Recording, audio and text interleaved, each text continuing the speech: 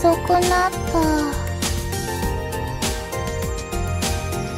だ寝る前にちょっとだけプレイするつもりが気がついたら朝日が昇っていた。動機がムネムネするほど面白かった。人公が幼なじみのお嬢様に痴漢をして警察に突き出されそうになりながらも彼女の執事になることで許してもらうところから始まるスペクタクルラブコメ。あれ？ちな意味でスペクタクルだった。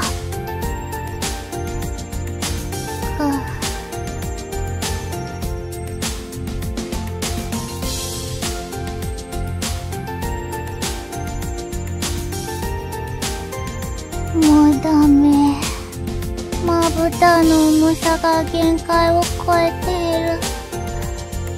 傭兵は私の屍を乗り越えて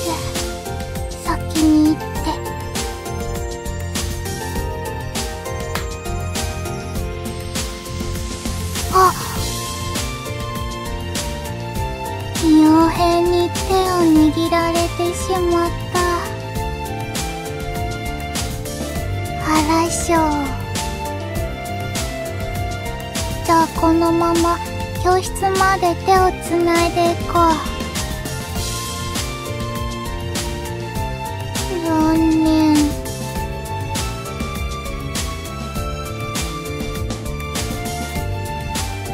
でも私は傭兵に手を握られたことによって時がムネムネした。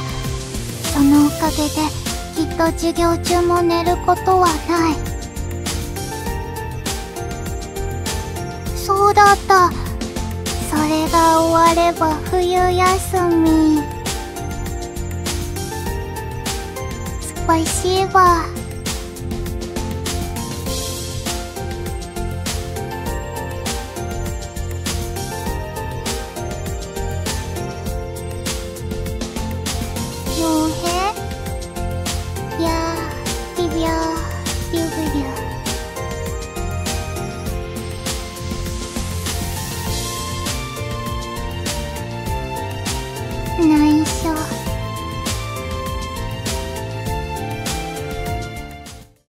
みんな席に着きなさい。さあ今年最後のホームルームを始めるわよ。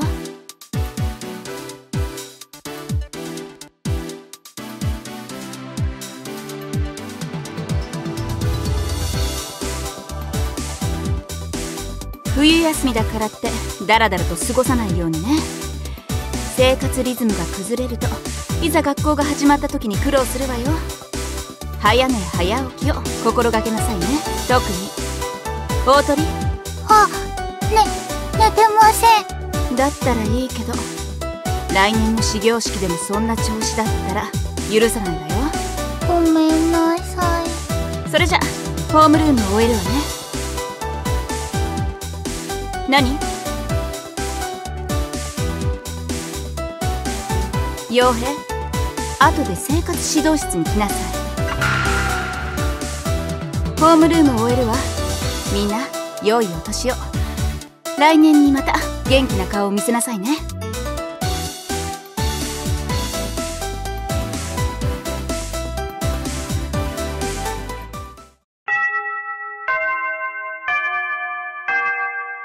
傭兵学校も終わったことだしこれから秋葉巡りに行こう。生はなぜ傭兵を生活指導室に？別に分ける必要はない気がする。先生は家でもきっとクールな感じだと思う。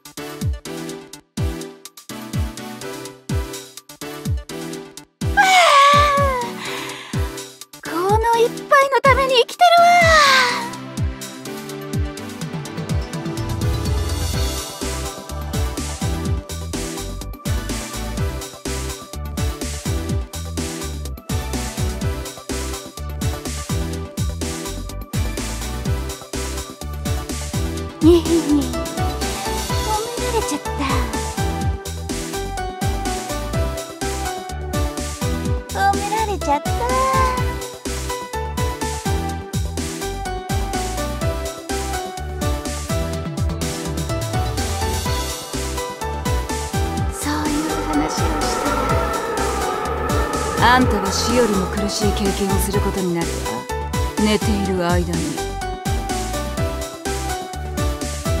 グロい話になるけど聞きたいだったらあんたは黙って私に付き合いなさいあんたがお酒飲んでもお姉ちゃんが特別に許してあげるよ褒められちゃった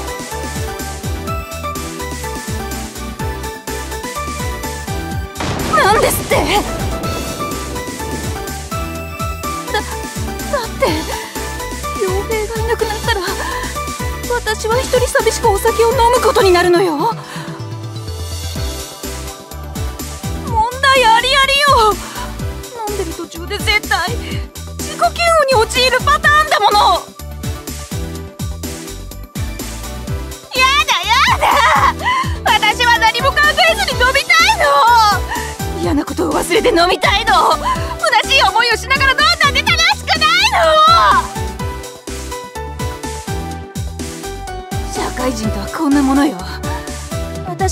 限らないわ。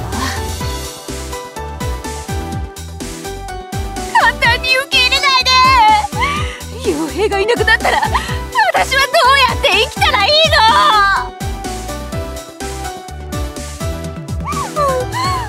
絶対よ。じゃあ傭兵が帰ってくるまでテレビ見ながら飲んでよっと。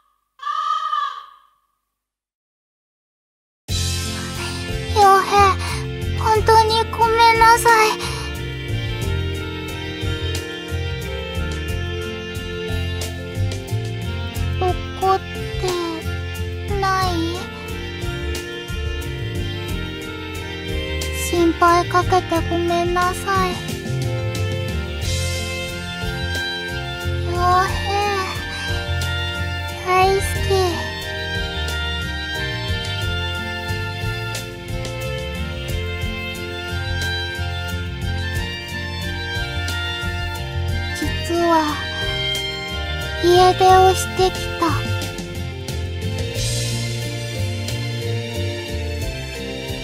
ママと喧嘩した。だ今日は傭兵と約束してたのにママが勝手に予定を入れた。それで言い合いになったんだけど立ちが開かないから私は荷物をまとめて家を飛び出してきた。当分マーマの顔は見たくない。私は家出を決意した。うんうん。衝動的に飛び出してきたからその先は何も考えていなかった。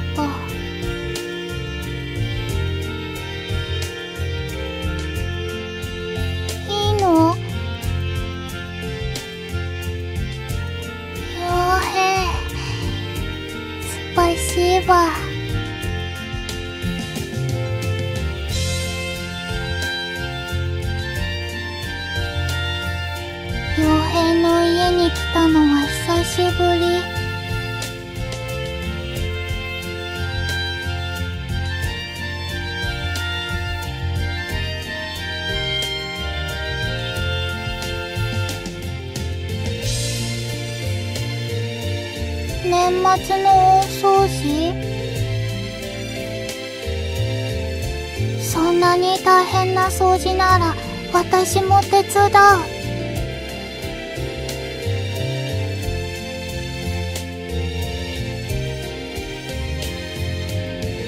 それはでも傭兵の家族に迷惑がかかる。傭兵のお姉さんはルールに厳しい先生だし家出をした私のことなんてすぐに追い返しそう。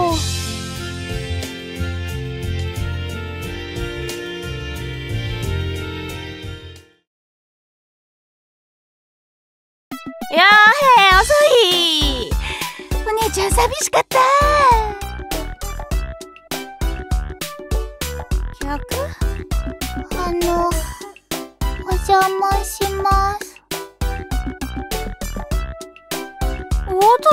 鳥じゃない。遊びに来たの？じゃあ先生と一緒に飲みましょう。もちろん冗談よ。もし告げ口したら。あんたが寝てる間にグロいことするからね。学校の時の先生となんだか違うひどい言い草ね。私だって教え子の前ではそこまでだらけないわよ。学校で変な噂が立ったら困るもの。というわけで大鳥。プライベートの私のことは誰にも言っちゃダメよ。もし言ったら成績をオール1にするからね。ねえ褒められちゃった。私の中にあった先生像が現在進行形でガラガラと音を立てて崩れている。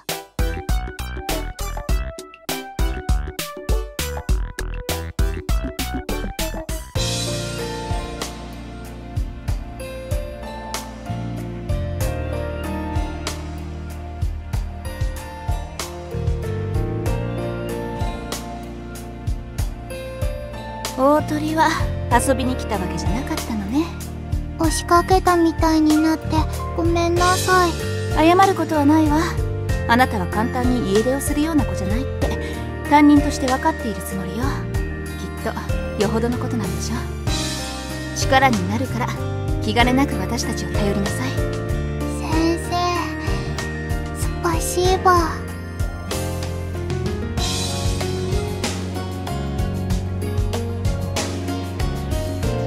待ちなさい。力になるとは言ったけど私は家出の助けをしたいわけじゃないわ。何を回収しちゃって？あのね傭兵。家出の助けじゃなくて親子喧嘩を解消することが大鳥にとっての一番の助けになるのよ。あなたが大鳥の友達だから心配するのはわかるけどそこを履き違えないようにしなさい。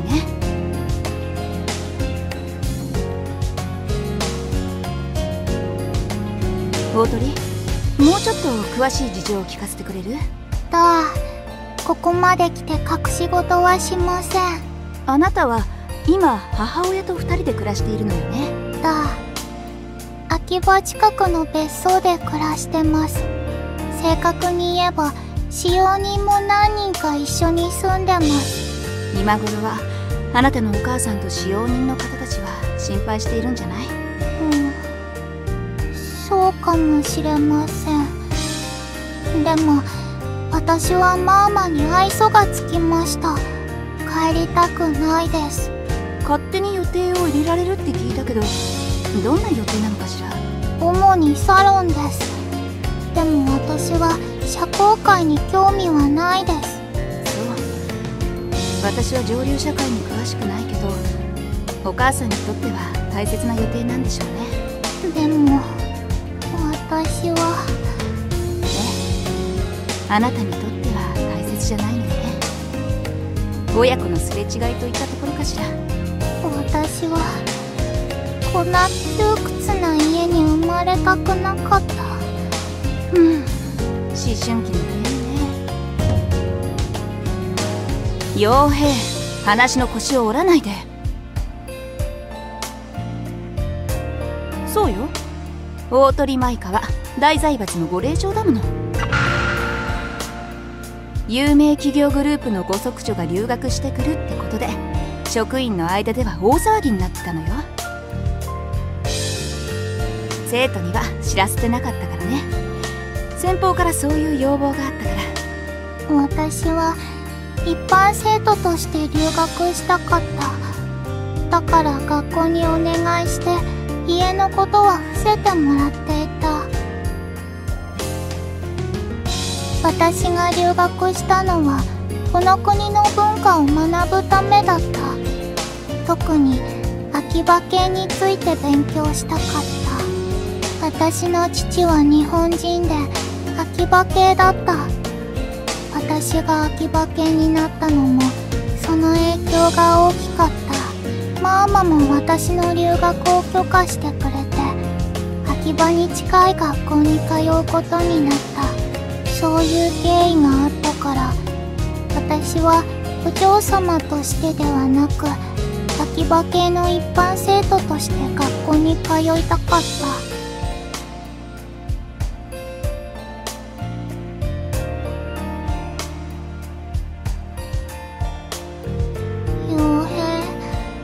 今まで隠していてごめんなさい。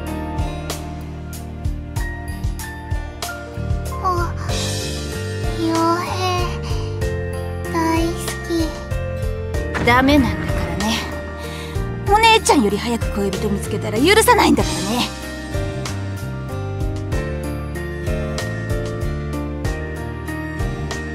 大鳥はお嬢様として見られたくない。だからお母さんが進める社交界にも興味がない。そのことお母さんにはちゃんと言った？何度も言いました。でも聞く耳を持ってくれません。私は他にやりたいことがあるのに。やりたいことって秋葉で遊ぶことです。私はサロンよりも秋葉が好きです。先生はくだらないって思いますか？そんなことないわ。仕事もそうだけど趣味にだって規制はないんだから。だから私が昼間から酔っ払っていようと誰かに責められる筋合いはないのよ。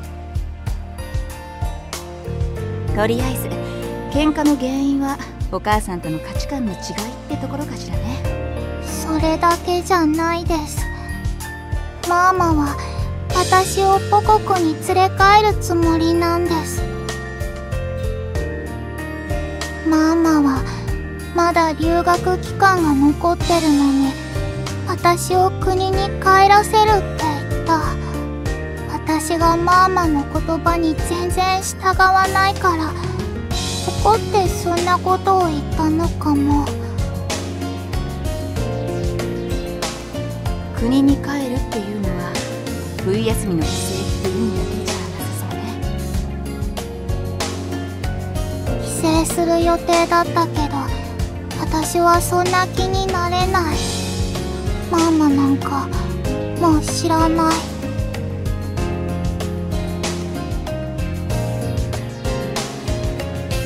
分かったわ。大鳥はしばらくこの家に泊まりなさい。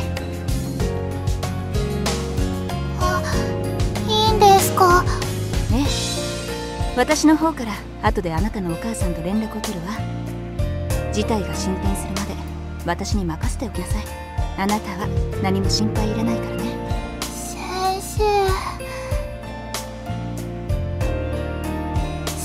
スパシーバ先生は学校でもプライベートでもとても素敵。私の憧れの存在。照れちゃうじゃない。私と一緒にお酒飲む？それはやめてお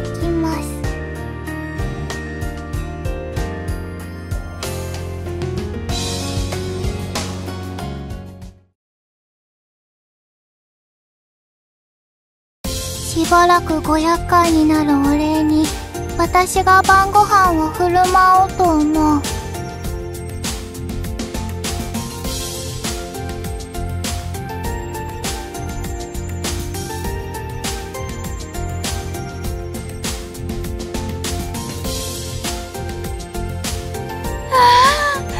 美味しそうじゃない。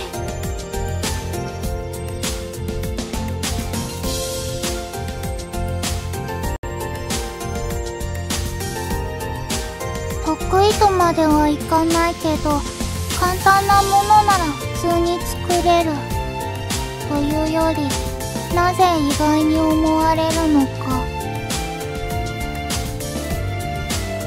ママは家事がからきしだけど私は違う使用人ばかりに任せたりしない。それよりも冷めないうちにどうぞ。お言葉に甘えて。いただきます。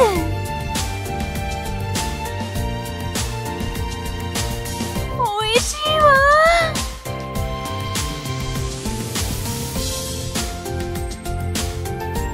ご飯が美味しくてビールも進むわ。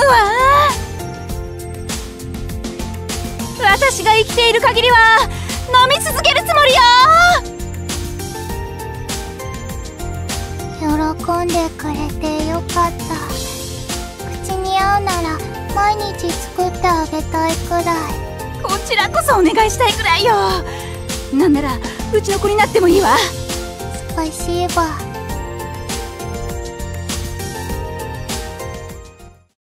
傭兵そういえばゆかなは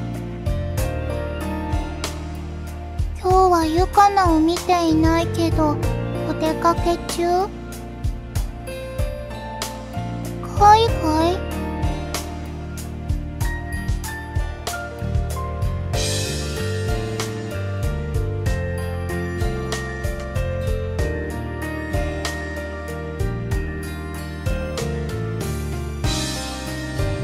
海外に住むご両親のところに向かったというのはもしかして留学の予定があるから。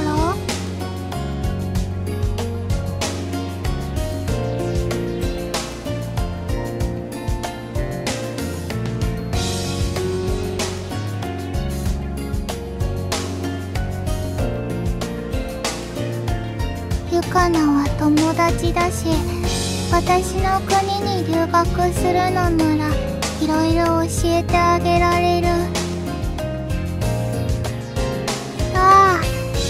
回接点を言てやへそんなこと言ってゆかながいなくなったら寂しいんじゃないの？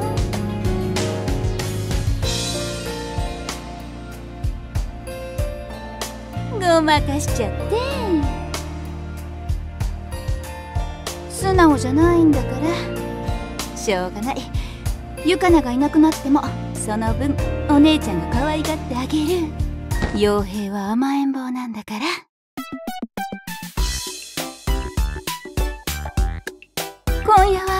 ちゃんが甘えさせてあげるわね。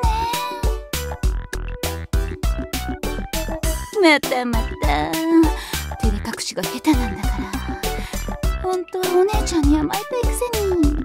反抗期ってやつかしらね。傭兵お姉ちゃんとキスしよう。キスしてくれなきゃ離れない。ドキドキ。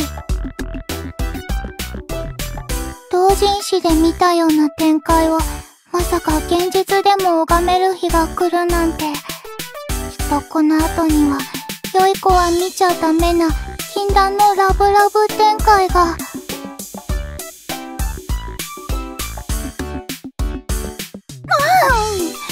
もう釣れないんだから私に死ねというの命の水がなくなったら生きていけないのに先生の守護っぷりは、まあまに通じるものがある。だからきっと、肉親である私と傭兵も、お酒に強いはず。じゃあ、傭兵の代わりに、ゆかなが守護になるかも。ゆかなは大丈夫よ。留学なんて全く考えていないでしょうね。あの子は極度のブラコンだから。そのままの意味でしょ。そもそもゆかながいなくなったらこの家は維持できないし。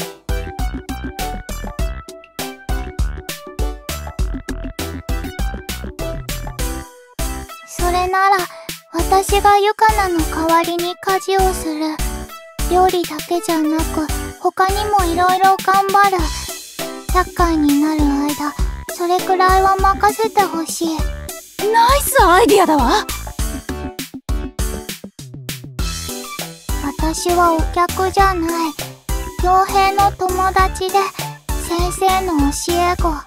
それに、泊まらせてもらっているのに何もしないというのは、逆に落ち着かない。ぜひ家事をやらせてほしい。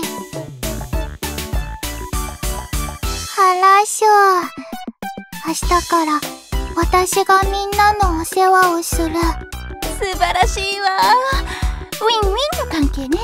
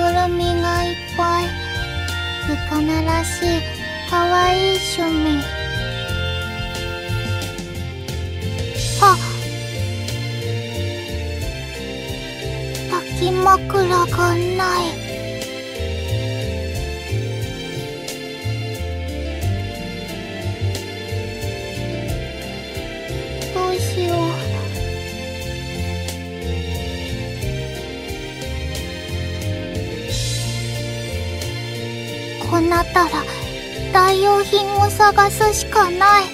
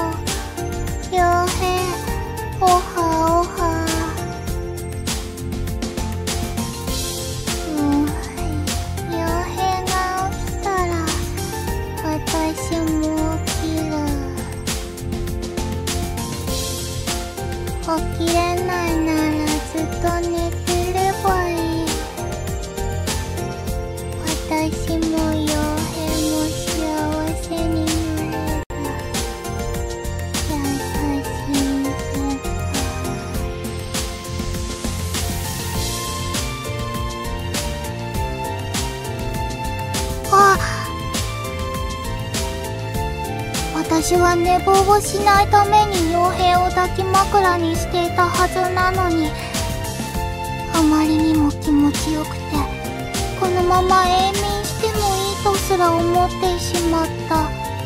テヘペロくるりんくるりん。これは私の母国に伝わる朝の体操。この体操のおかげでフィギュアスケートが強くなったと言われている。それじゃあこれから朝ごはんを作る。傭兵も後でダイニングに来てほしい。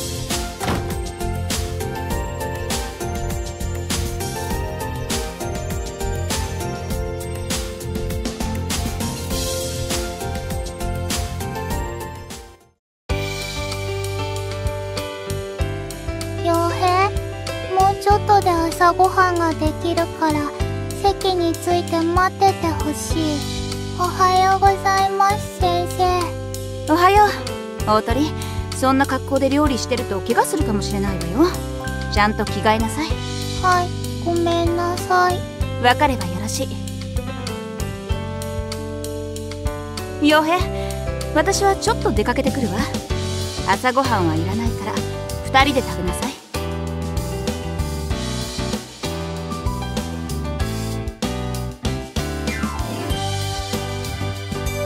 そうね。お酒を買ってくるわけでもないわよ。あなたも大鳥も何も心配いらないわ。それじゃ行ってきます。先生はスーツを着ておめかししてたしこれから大人の男性とデートとか。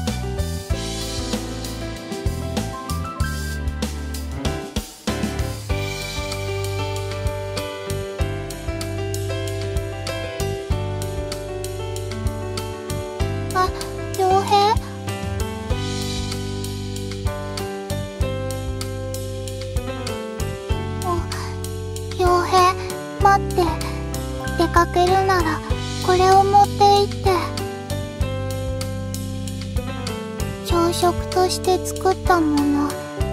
まだ一人分だけど途中で食べて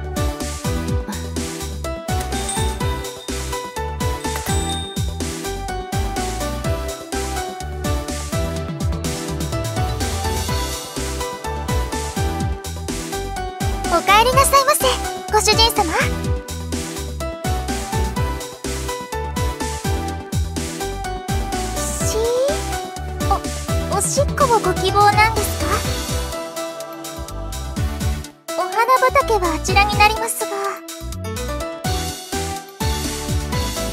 かしこまりました。そこで隠しメニューの CC プレイですね。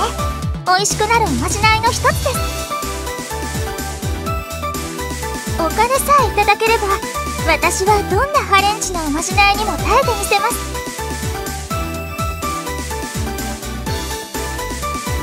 ご主人様私のことはメイドちゃん。または店員ちゃんとお呼びくださいね。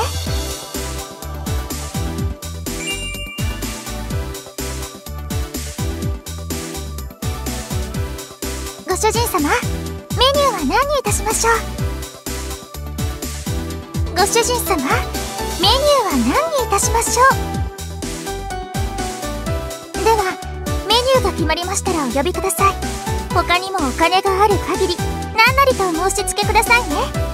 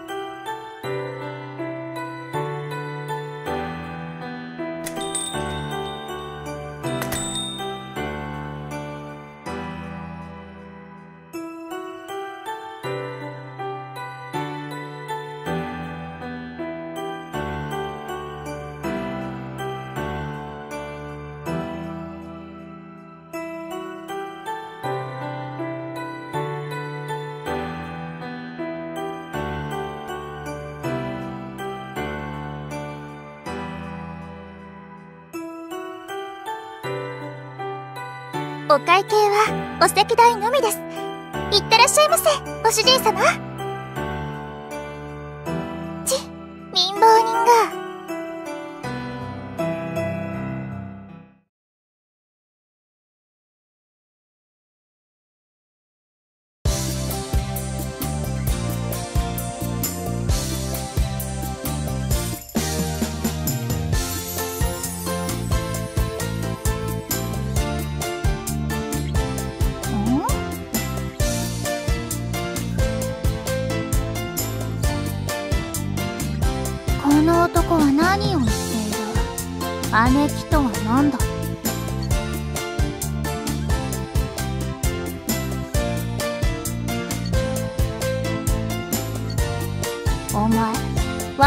バカにしているのか？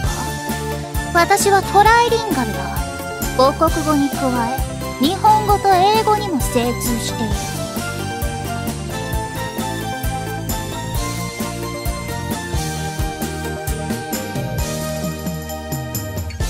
まさかこれは新手のナンパか？まったく。使用人とはぐれたのが運の尽きだな。秋葉というところはなぜこんなにも道が入り組んでいるのか。迷うのも無理はないじゃないか。まあいい。ちょうどよかった。お前私を案内しろ。そうだ一つだ。だから早く案内しろ。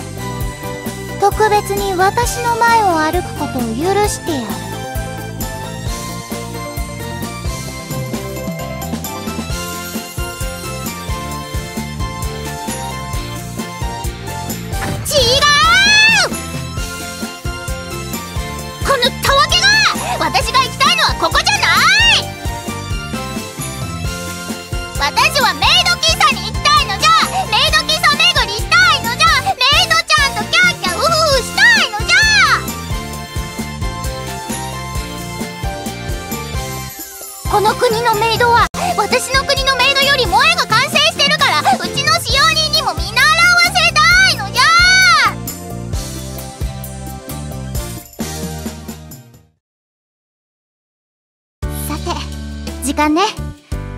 ビラ配りはこれくらいにしてお店に戻らなきゃ。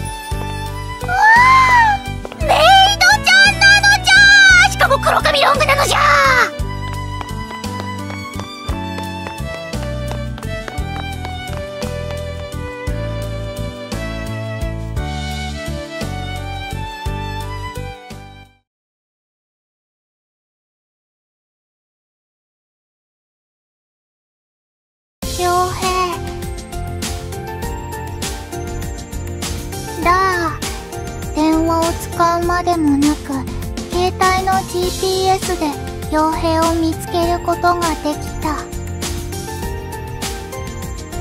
留守番を頼まれたのに外出してしまってごめんなさい。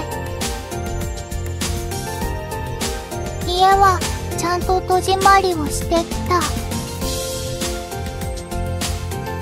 メイド喫茶巡り？別にそんなことは思っていなかった。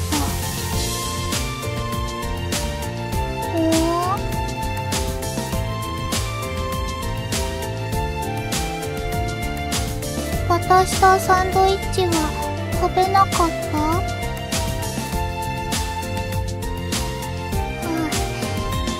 傭兵が嬉しいことを言ってくれるからますます料理の作りがいがある。それで傭兵は結局なんで秋葉に？よくわからない。けどわかった。帰ったらサンドイッチ以外の料理も温め直そうと思う。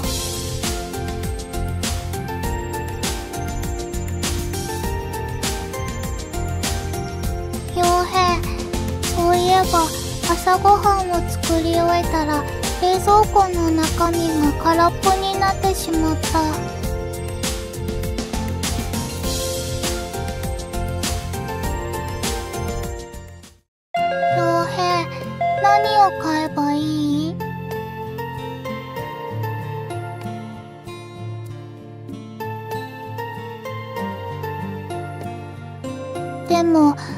私の好きに買うとなるとイカ焼きオンリーになってしまう。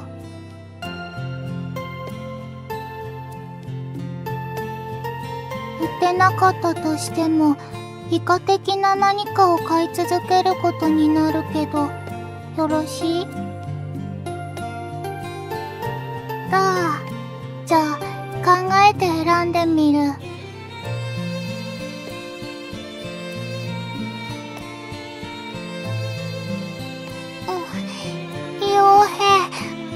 兵お待たせ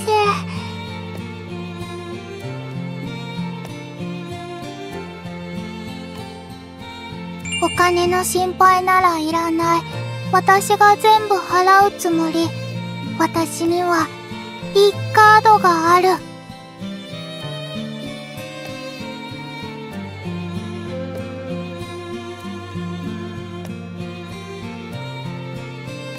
よくわからないけど。このカードを使って買い物に困ったことはない。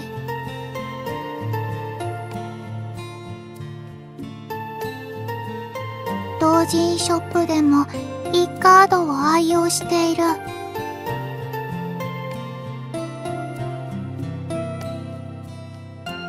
そうなのか。傭兵は男の子だし口でこれくらい食べられるものだとばかり。じゃあ余分なものは商品棚に返してくる。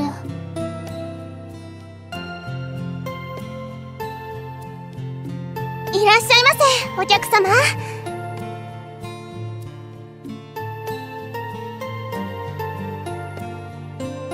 お客様今日はたくさんお買い物するんですね。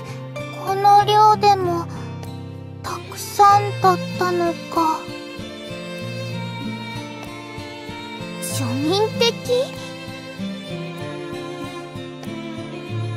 お客様ご自分でお料理をされるんですね。一人暮らしなんですか？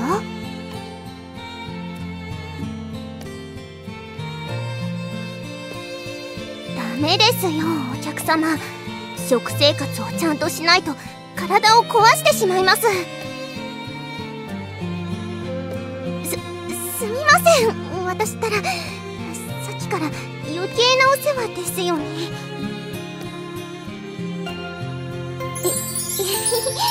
ありがとうございます。他にも困ったことがあれば何でも相談してくださいね。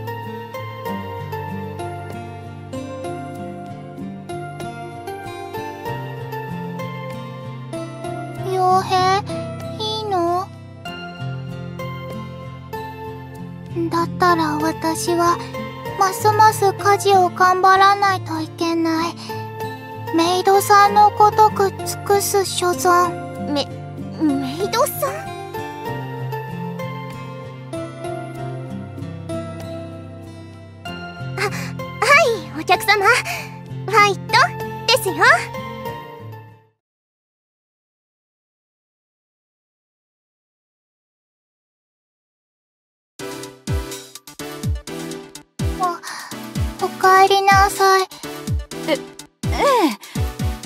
ただいまそんな風に仰々しく出迎えてくれるとは思わなかったわ。何かあったの？先生お願いします。何よ？もう想像がついてる感じじゃない？話してあげるからまずは家に上がらせ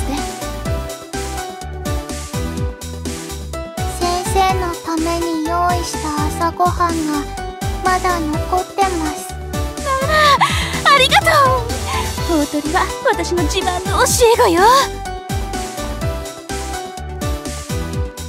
おお酒臭い私は大鳥のお母さんと話してきたわ。それで大鳥を一時的にこの家に預かることを許可してもらったのよ。本当ですか。え？まさかママが家出を許してくれるなんて。てっきり連れ戻しに来ると思ってたのに。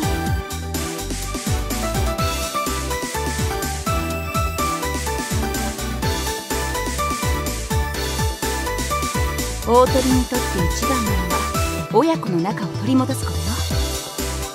私はそれができなかったんだからお礼なんていらないわスパシーバ先生。だからお礼なんていらないってば。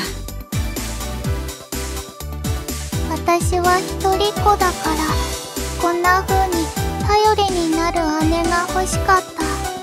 嬉しいこと言ってくれるじゃない！おおやけ臭い。ひとまず肩の荷が下りたことだし今日は飲んで飲んで飲みまくるわよ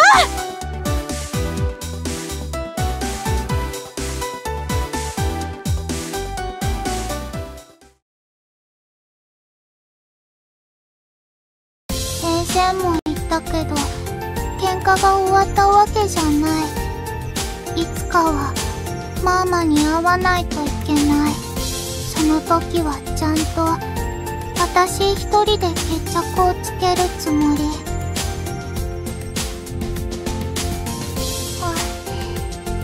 私は恭平と友達になれてよかった。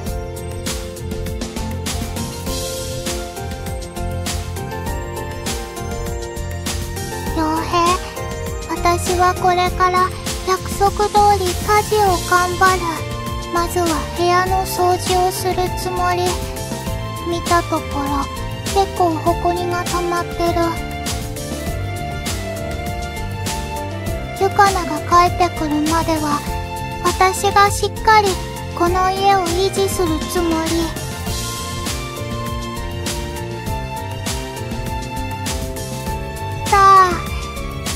人よりも二人の方がきっと楽しい。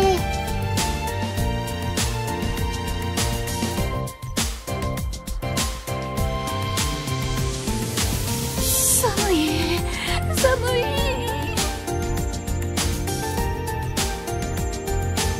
もっとお酒を飲んで暖かくならなきゃだわ。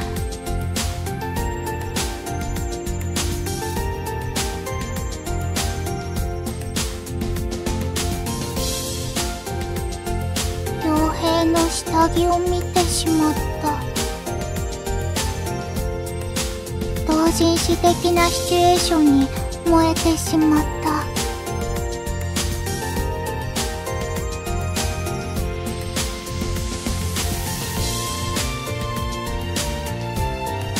家事はこの国に留学している間に覚えた。本国で暮らすのと比べたら使用人の数が少ないというのが理由ああママは全く手伝わないけど。全然似てない。先生はかっこいいけどママはかっこよくない。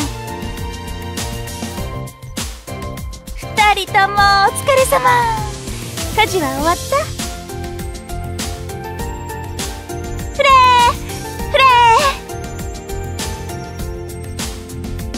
レー先生はゆっくりしていてほしい。お酒のおつまみが欲しければ私が何か作る。素晴らしいわ。マイカはもううちの子に決定ね。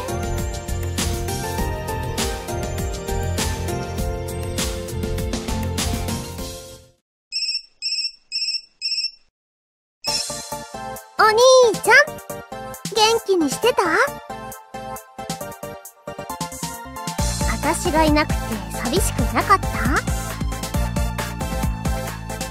釣れないんだから。お兄ちゃん全然電話かけてきてくれないし。私は毎日だってお話ししたいの。お兄ちゃんの妹いけず。お姉ちゃんはどう？ダラダラしてない？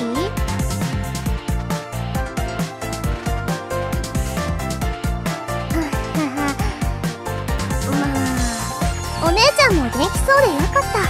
うん。本当に元気なら。お兄ちゃんはちゃんとご飯食べて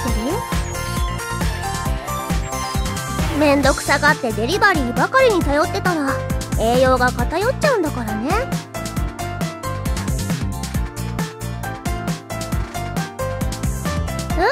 ゆかな。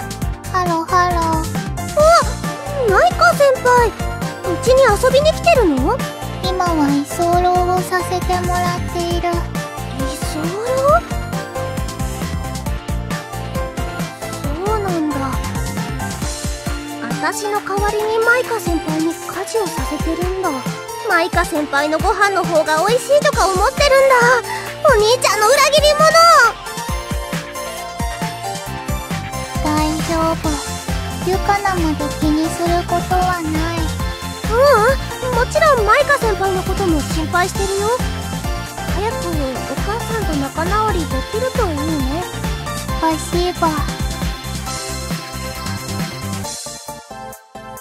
言うかな。お姉ちゃんと一緒に飲みましょお姉ちゃん仕事がお休みだからってダラダラしてばかりいないようにね。先生なんだから模範的な生活しないと。う模範的なお酒の飲み方してるわよ。飲みすぎてるじゃん。マイカ先輩家でのお姉ちゃんはこんなだけど幻滅してない？先生は賑やかで楽しくてだけどいざという時にはクールでかっこいい。以前よりももっと尊敬してる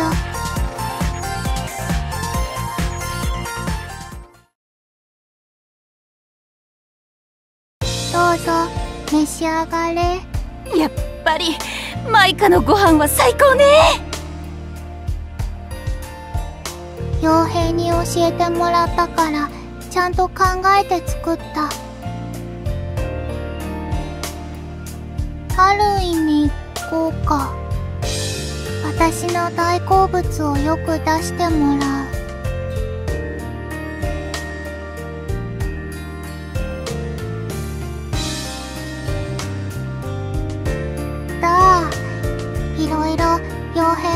教えてもらう。遠慮せずに私からも教わりなさい。そんなことない。私がもっと大人になったらお酒の飲み方を教えてほしい。マイカは本当にいい子ね。傭兵のお嫁に来てほしいくらいだわ。お嫁もう。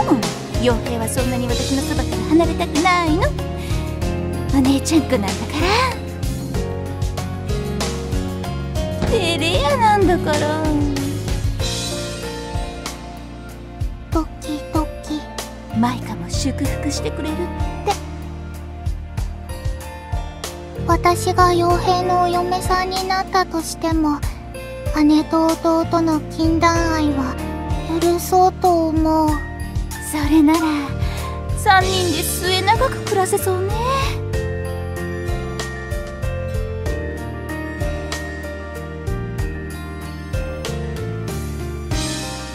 私はマイカのお母さんと話をした時に娘を連れて近いうちに帰国するつもりだって聞いたわ。どんな理由なのかは教えてもらえなかったけどやっぱり喧嘩が原因だとは思うん私は帰国なんかしたくない。だから絶対マーマと仲直りをする。でも今はまだその方法がわからない。だから思いつくまではこの家にいさせてほしい。え？もちろん。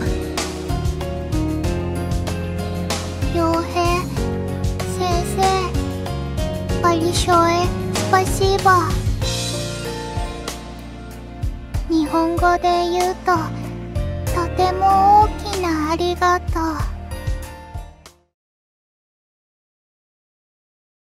お兄ちゃん。今度はお兄ちゃんと二人きりが良かったの。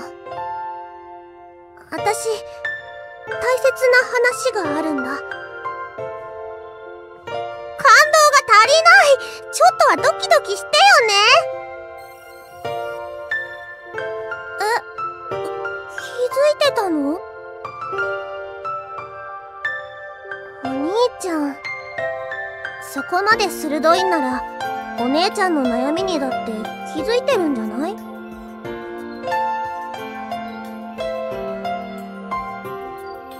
真面目な話をしてるんだよ。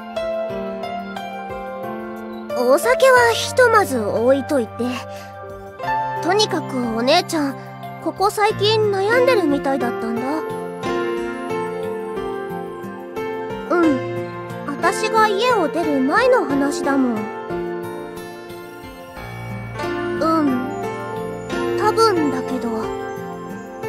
お姉ちゃんの勤め先が変わることが関係してるんだと思う。